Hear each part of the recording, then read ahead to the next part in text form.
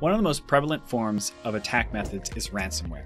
Ransomware basically encrypts all files on your computer system and basically requires a ransom in order for you to unlock those files, which it rarely ever does. So, the severity of this attack is really dependent on a few key factors. One, how many devices were encrypted? How frequently do you back up your data?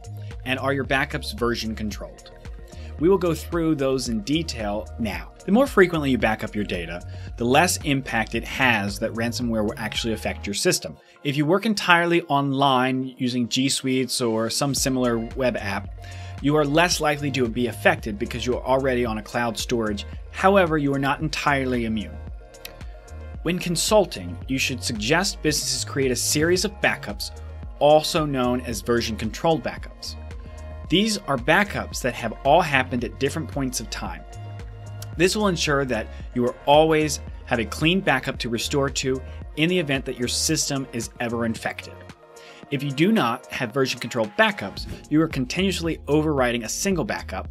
Then, this typically means that in the event that you do not catch the attackers on your system, you could theoretically back up that malware and basically render all of your backups useless. So that is why version control is so important.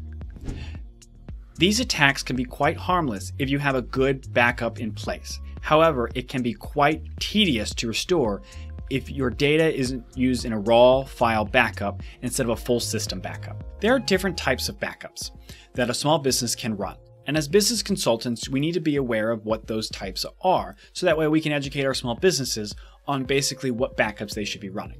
The level of sensitivity to the data depicts basically what backup you should run. So, for example, there are three types. You have full system backup, you have file level backup, and then you also have an incremental system backup. A full system backup is also known as a mirror image.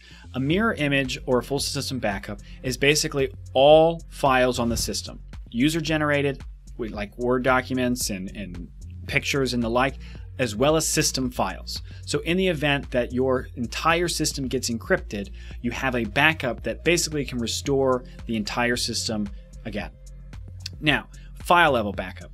This is basically only user generated files. So, user generated, I mean documents, pictures, and basically anything that you have been saving on the system. And then you have incremental backup.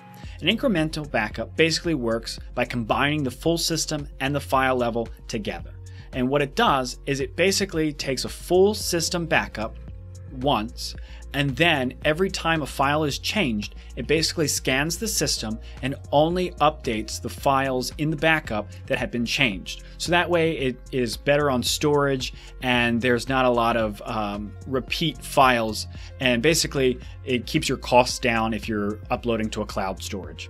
Each backup comes with its different sets of advantages and disadvantages. A small business should consider running a full system or a file level backup once a week and running an incremental backup daily. This will ensure that their files are always up to date and that ransomware can never be affected them.